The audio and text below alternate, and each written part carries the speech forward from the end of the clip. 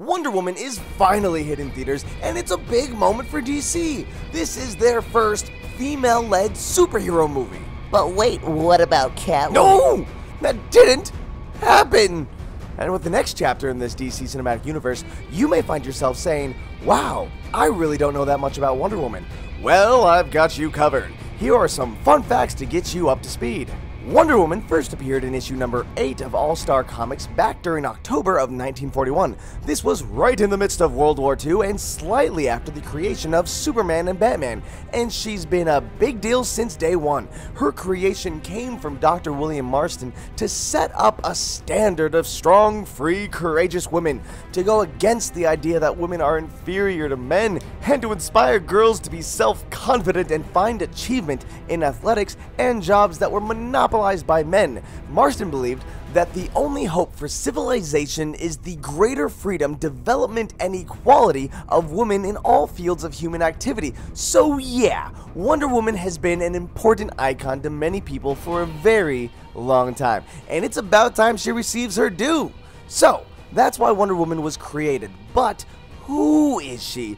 Where did she come from? What powers does she have? And how will it affect the movie?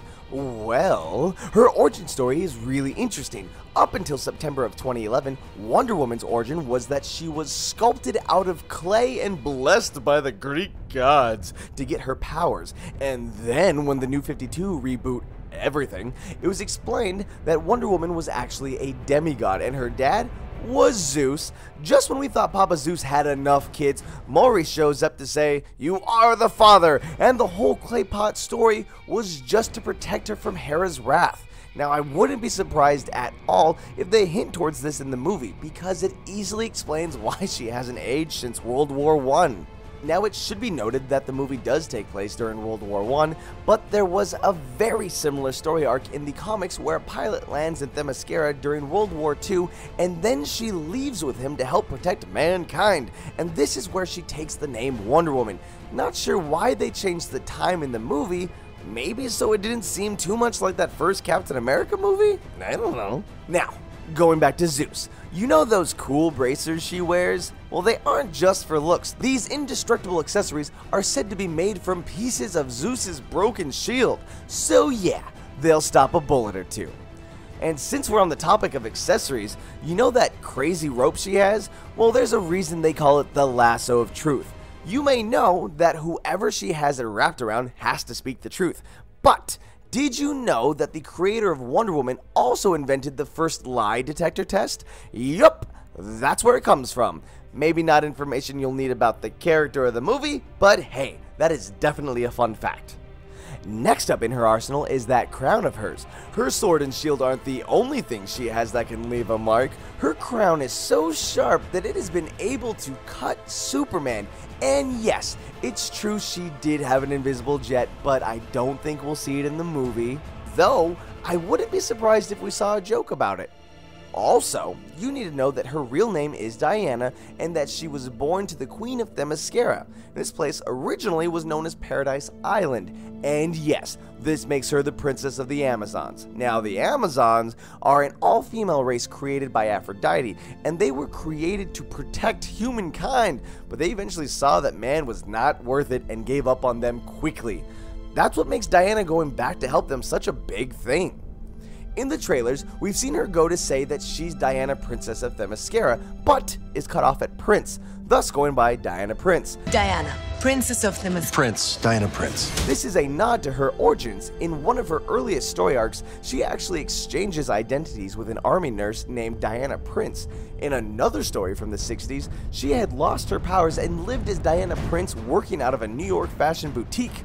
So, she's been a princess, an army nurse, a fashionista, and to add to her list of jobs, in 1942, she was the Justice Society's secretary, answering phone calls and writing letters while the team went off to fight Nazis. Yeah, she was not thrilled about that. Wonder Woman also has a bunch of powers, but I'm not too sure how many of them will actually pop up in the movie. As I mentioned before, she got her powers from ancient Greek gods. For example, she's got super strength, she can fly, even has super speed thanks to Hermes, and you know, even can talk to animals. And after she beat Ares and became the god of war, because that's how that works, she also got the ability to communicate with soldiers around the world. But how strong is super strong?